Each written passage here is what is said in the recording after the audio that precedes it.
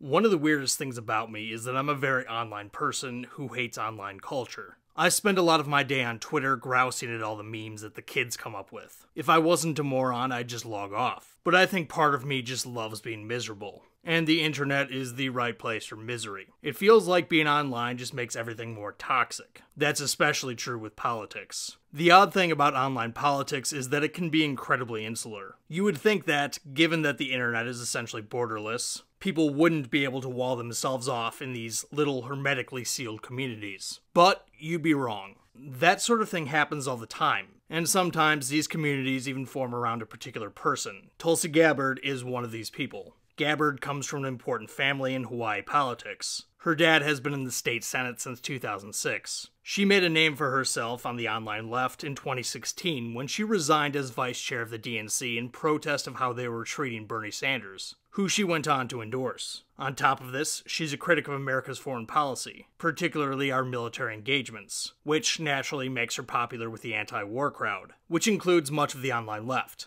though some people in that community are skeptical of her commitment to these principles. The fact that she serves in the Army Reserve lent her credibility on this front. She's not anti American or anti troop. She just doesn't like these supposedly pointless wars. Oh, and she's hot. Just ask the dude that runs the New Hampshire Libertarian Party Twitter account. At one point in time, she had real life power. She served four consecutive terms in Congress, and as I said earlier, she was vice chair of the DNC until she stepped down.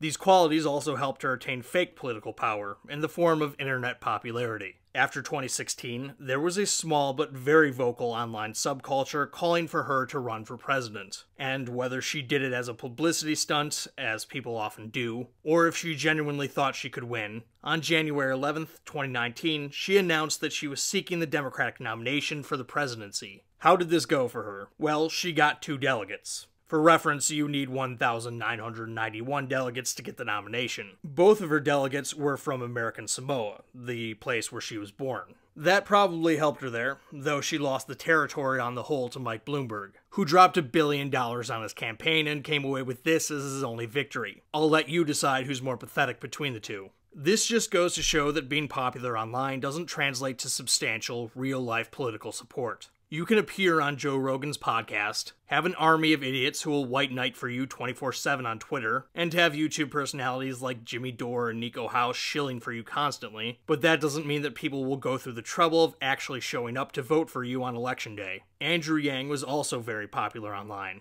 but he did even worse than Gabbard did. Compare this to Donald Trump or Bernie Sanders, who were both super popular online, but also had real life support on top of that. Meanwhile, Joe Biden had almost no online support, and he won the Democratic nomination running away, and won the general election after that. Being popular online is neither a necessary nor a sufficient condition for gaining real life political power. The moment you realize that most people who vote aren't active on Twitter is the moment you understand this distinction. You either get that or you don't. There are people who think that there's no way John Fetterman could have beaten Dr. Oz, because wouldn't you know, Dr. Oz has way more followers on Instagram. Therefore, the election must have been rigged. These people have no idea that they're looking at it completely backwards, and probably never will. A couple of years after her failed presidential candidacy, to the surprise of no one, Tulsi Gabbard left the Democratic Party, saying that it was controlled by an elitist cabal of warmongers driven by cowardly wokeness who are dragging us ever closer to a nuclear war. She then signed on to be a contributor with Fox News, and even filled in for Tucker Carlson when he was out. During the 2022 midterms, Gabbard endorsed a number of different Republican candidates, including Blake Masters, Don Bolduc, Kari Lake, and Tudor Dixon, all of whom went on to lose. In fact, out of her 13 endorsements, only three of them won their races. While she may still be popular online, her track record in the real world has some establishment conservatives concerned. As Bobby Miller writes at National Review, between her past ideas, the likely opportunism of her recent shifts, and her lousy endorsement record in these midterms, Tulsi Gabbard offers little of interest to conservatives. Maybe she'll be able to persuade more conservatives over time, but I'm skeptical. Now, why is it that despite ample opportunities, she hasn't gotten back real life political support in a significant way? Well, I think the main reason is that she picked the wrong issue. Her isolationism may get people like Michael Tracey excited, but there's little evidence to suggest that most voters actually care about it in real life. Before I get into the details, it's worth noting that there are legitimate questions about her credibility on this issue. She has said that, while she doesn't support our forever wars, she is a hawk on the question of Islamic terrorism. Given that Islamic terrorism was the focus of much of the foreign policy of the Bush, Obama, and Trump presidencies, I wonder how much her hawkishness on this issue would actually change foreign policy in a significant way. Given how much Tulsi flips on other issues, it wouldn't be too surprising if she flipped on this one. That is, if she's ever in a position of power again, which hopefully won't happen. Isolationists tend to think that the United States' foreign policy is the same regardless of who is president or which party controls Congress. I don't think that holds up under scrutiny, but I get why they feel that way. Their views, for better or worse, are so divergent from the status quo that, from their perspective, the distinctions between the Bush and Obama foreign policies, for example, are so insignificant as to be immaterial. Their interests are very rarely represented amongst the candidates that have a legitimate opportunity to actually get elected. Perhaps this is why they gravitate so strongly to someone who says the things they like, on the rare instances when one such person comes along. Unfortunately for them, being concerned about foreign policy, and in particular, being an isolationist, much like Tulsi Gabbard herself, is a much bigger deal online than it is in real life. For better or worse, most Americans don't pay attention to foreign affairs, and the vast majority don't vote on them. Think about it in the most recent election. Russia's invasion of Ukraine is by far the biggest news story of this year. Granted, there are still a few weeks left in this year, but I doubt that will change. How many candidates did you hear during the midterms talk about Ukraine? I heard very little, and I pay pretty close attention to this stuff. Most of what I heard was about abortion, or protecting democracy, or transgender people, or inflation, but very little on foreign policy, much less Ukraine. The most I heard was that Kevin McCarthy said maybe we'll stop sending so much aid to Ukraine when the Republicans take the House. According to polling, there was very little attention to this paid by the electorate. As a survey conducted by Northeastern University said, when asked to select from a dozen urgent issues, self identified Republicans and independents both placed inflation and the economy above all others, as their first and second most important issues. The survey of more than 21,000 Americans found when self identified Democrats were asked to choose from the same list, which included a number of hot topics such as American democracy, women's rights, police brutality, and the COVID 19 pandemic, they selected climate change and racism as their top two issues, with inflation not far behind, in third place, the survey found. Those of you who watch this channel know that I think issues matter very little in politics. Even if you assume that they do, and you assume that polling and surveys serve as a reliable predictor of voter behavior, then there's very little evidence to suggest that foreign policy motivates voters in a significant way. Historically speaking, there's very little evidence either, at least according to political science literature. As the Washington Post reported back in 2016, from decades of research, we know voters do not pay much attention to foreign policy. Some research shows that the public has stable, coherent attitudes on foreign policy, but few dispute that most voters have very little concrete foreign policy information. Rather than follow debates closely, voters generally look to elites and the media for information, even for specific foreign policy issues. What about national security? Public opinion research has shown that even in wartime, the public used elite cues as shortcuts for understanding conflicts ranging from Iraq and Vietnam to World War II. If elite opinion about a conflict is divided along partisan lines, then the partisan split will likely show up in public opinion, so voters generally leave foreign policy to elites. This strategy makes sense for busy people focused on matters close to home. The one time in my life that foreign affairs and national security seemed to matter was after 9 11 and the Iraq War. Obviously, there was a lot of concern after the terrorist attacks, much of which the media fed into. Furthermore, in my experience, public opinion tracked very closely with the press on the Iraq War. When the press was mostly for it, public opinion went along with it, helping put popular support behind the invasion initially. When the war went south, the media turned against it, and so did the public. It's hard to say in real time who was leading whom, but if the elite theory of public opinion espoused by the Washington Post is accurate, then most of the public was likely following media cues. Barack Obama's response to the Bush administration demonstrates pretty well how the political incentives are aligned on the issues of foreign policy and national security, both of which were closely related when it came to Islamic terrorism. Obama campaigned against the Iraq War and Bush's national security and intelligence apparatus that was assembled after 9 11. In 2007, Senator Barack Obama said that the Bush administration administration puts forward a false choice between the liberties we cherish and the security we demand. I will provide our intelligence and law enforcement agencies with the tools they need to track and take out the terrorists without undermining our Constitution and our freedom.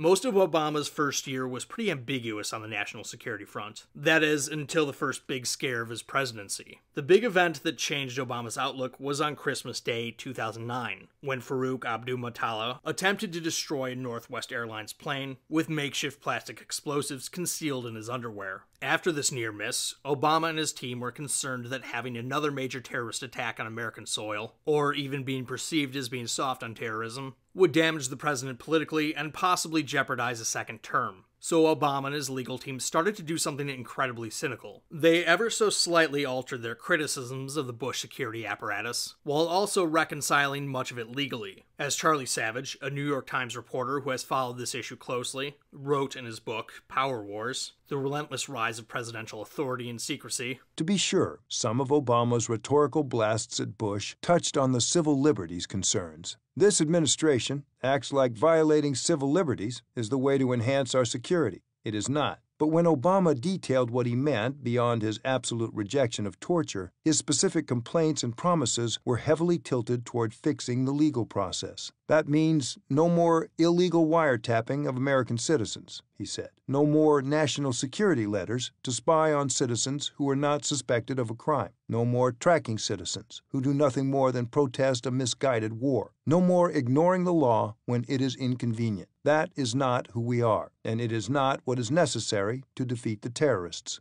The FISA court works. The separation of powers works. Our Constitution works. The parsing was careful, too. It sounded like a wholesale rejection of Bush policy outcomes, but it was really just about making sure the legal foundation was solid. Lawful surveillance programs, meaning those authorized by Congress and subject to the FISA court's oversight, were fine. All this culminates in the second helpful model for determining whether Obama acted like Bush. If one takeaway is that the Bush Cheney legal team was consciously seeking to expand presidential power as an ideological end in itself, a key point to understand about the Obama legal team is that they were trying to fight Al Qaeda while adhering to what they saw as the rule of law. President Obama and most of his people appeared in practice to care somewhat more about civil liberties than President Bush and most of his team. But the Obama team was not, and never had been, the full throated civil libertarians that Senator Obama had allowed and encouraged his supporters in the Democratic primary campaign to think, and his opponents to fear, they would be. The crucial insight that arises from this model is that by the time Obama inherited the presidency, many controversial post 9 11 policies had a much stronger legal basis than when Bush first created them. In 2013, it was revealed that the National Security Agency was systemically collecting bulk metadata on Americans' phone calls. Obama responded to this revelation by saying, I think that the American people understand that there are some trade offs involved. I think that it's important to recognize that you can't have 100% security and also then have 100% privacy and zero inconvenience. You know, we're going to have to make some choices as a society.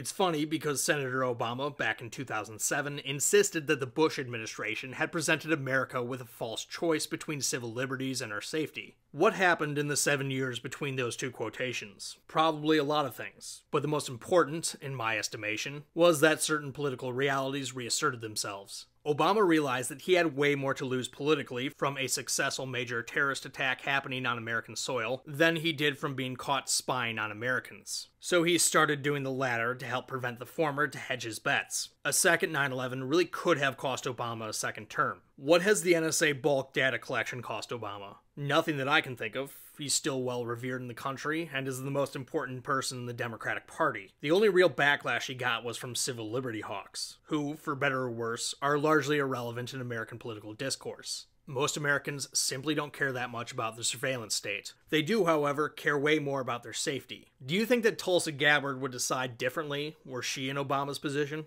Given her flip flopping on other things, I doubt it. But more importantly, the political incentives would push her strongly in the same direction. We'll probably never find out, as as long as this is her signature issue. She likely won't gain ground with most of the public. Will foreign policy or national security forever be minor issues in American politics? I wouldn't say that. Another major event like 9 11 could change public opinion in a significant way. A war where we have to institute a draft, which would mean that a significant amount of the voting public was actually invested in it, could get the public to be more concerned about foreign policy and demand that the government finally rein things in. Until something like that happens, there's very little political capital to be gained by politicians by favoring rolling back America's foreign policy commitments, or reining in the national security state. Will Tulsi Gabbard forever be an online personality with long shot political aspirations? I won't rule anything out in American politics, including Gabbard actually becoming important once again. Maybe she will become Donald Trump's VP candidate,